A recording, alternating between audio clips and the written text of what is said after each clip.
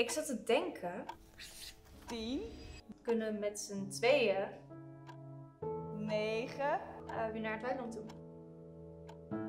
8, Wat? 7, Waarom had dit gewild? Begrijp dat dan? Marco!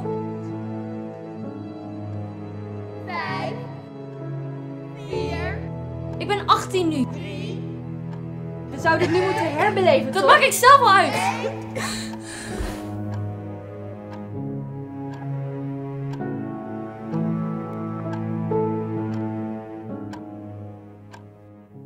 Maak je maar geen zorgen.